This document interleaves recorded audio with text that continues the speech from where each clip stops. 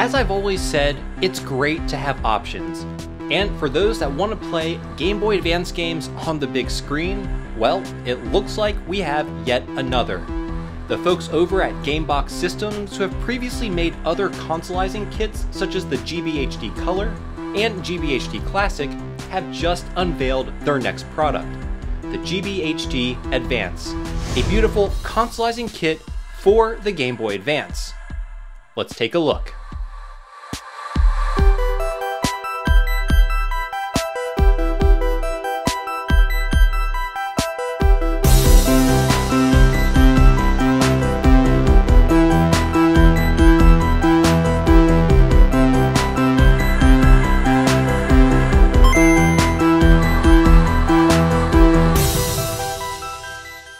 Hey everyone, how's it going? My name is Tito, and welcome to another episode of Retro Renew. Today, we'll be taking a look at this. This is another kit that turns your Game Boy Advance into a home console, utilizing a full-size HDMI port on the back and FPGA technology under the hood. Now, we've looked at kits like this before, such as Woozle's fantastic consolizer, as well as the Intec kit, but this one stands out for a few reasons, which we'll get into later on in the video. Alright, y'all know the drill. First things first, I'm gonna go over all the parts that come in this kit. Then I'll show you how to put it all together, go over the kit's features while also doing a side-by-side -side comparison to Woozle's kit, review the pros and cons, and of course provide you with my overall thoughts. Alright, getting into the contents of the kit, the first and probably most important component is the main PCB. This is, as I like to say, the brains of the operation, with the main attraction being the beefy FPGA chip. Much like Woozle's updated consolizer, this kit also uses a flex ribbon which was beautifully designed by Helder. It elegantly pulls button inputs, clock, and audio signals directly from the GBA's CPU. This allows for a clean and professional installation, but of course requires you to be skilled with a soldering iron. Also in the kit are a 32 and 40 pin ribbon cable, making it compatible with both variants of the GBA motherboard. Additionally, to put everything together, we have a set of machine screws. And lastly, you get a beautifully made 3D printed shell. These come in an assortment of colors, such as this translucent aqua. And it also surprisingly comes fitted with brass bosses, which makes screwing everything together a breeze. Really awesome that they incorporated details like this into their design. Okay, so we saw everything that came included in this kit. Now let me show you how to put it all together. So with your donor console in hand, we first need to extract the motherboard. Perfect. Next, we need to remove the speaker.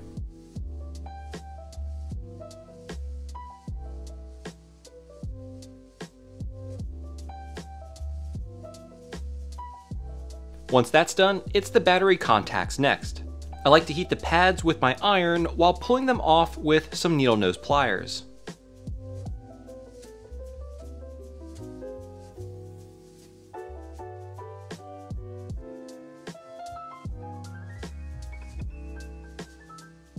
Looks like there's some old residual flux, so I'll clean that up real quick. Okay, brace yourselves. Now for the hard part. We need to solder the flex cable to the GBA CPU. First, I apply some liquid no clean flux to the legs, and then add just the smallest amount of solder to the tip of my iron. And then very gently tin the legs that we'll be connecting the flex cable to. Apply some more flux, and then do the same to the other set of legs.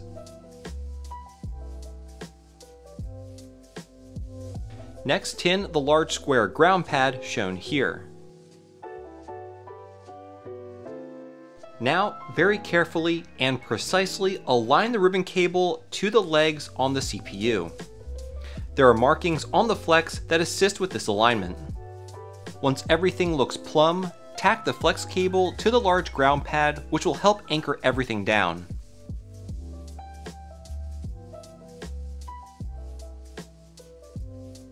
Then add some more flux, and again, with just the smallest amount of solder on your iron, begin to make the connections. Take your time and add more solder as needed. I like to do small sweeping motions away from the CPU pins. Go over your work until you are satisfied with the joints, and also take care to watch out for any bridged connections. Now moving over to the next set of CPU legs, follow the same steps. Here I'm using some tweezers to ensure that the flex cable is flush to the board.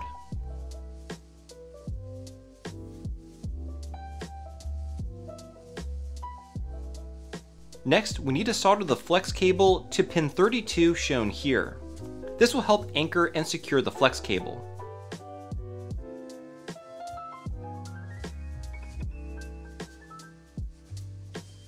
Then do the same on the opposite side. Helder and Gamebox Systems added these very convenient pads on the cable so that we can easily check to make sure we made good solid connections. After everything checks out, this is what a fully installed flex cable should look like. Next, we need to solder a wire to the cartridge pin labeled S2. And the other end of that wire to the lower R16 pad on the GBHD board shown here. And this is what it should look like. Next, grab the motherboard and make a slight S bend in the flex cable as shown and plug it into the ZIF connector on the GBHD board, then lock the bail.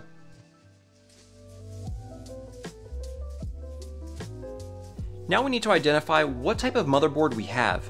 Under the LCD connector, we can see that I have a 40 pin model. So grab the included 40 pin cable and insert it into the connector.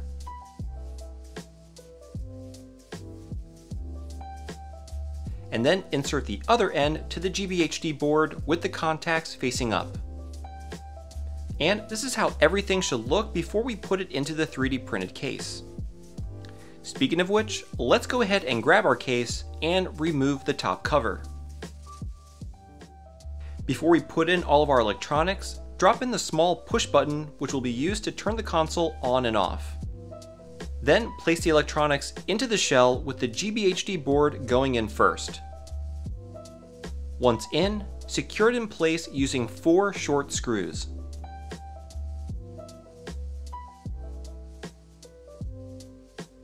Then grab the motherboard and tuck the excess ribbon cable underneath it. Align the motherboard with the brass bosses and secure it down again with the short length screws.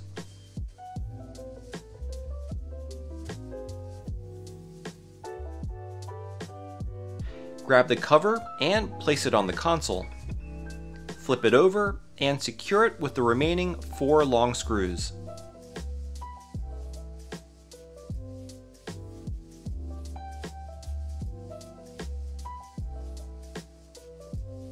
And there you have it, the GBHD Advance. I really like how this kit came together. The case itself, I think, has a very nice aesthetic, and the GBHD Advance really has a nice list of features. Speaking of which, let's go over them right now. To check out all the features, we need to access the GBHD Advance menu system. You simply need to press and hold the Start and Select button for about a second.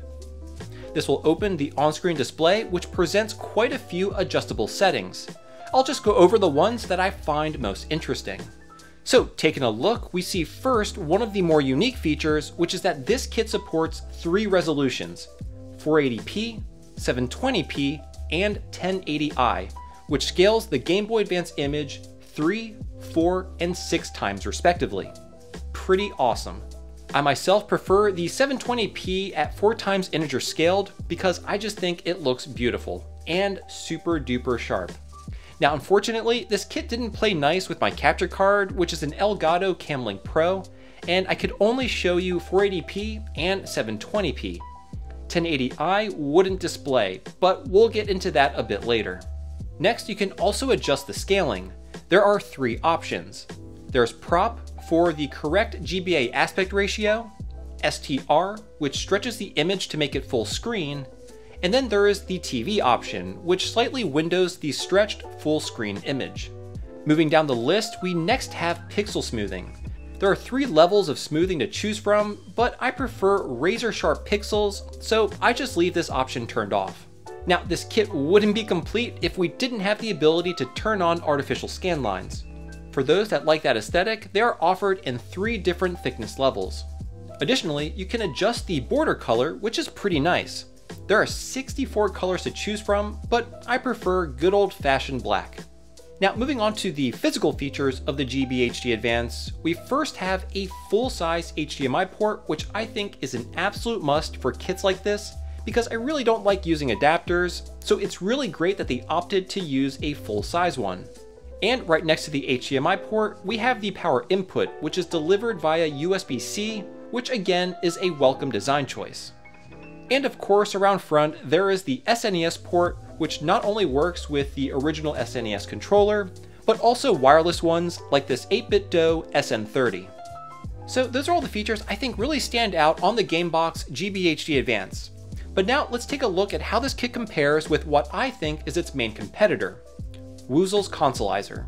So as you can see, comparing them side by side, they both offer high quality, properly integer scaled images with the correct aspect ratio at 720p. And both, quite frankly, just look fantastic.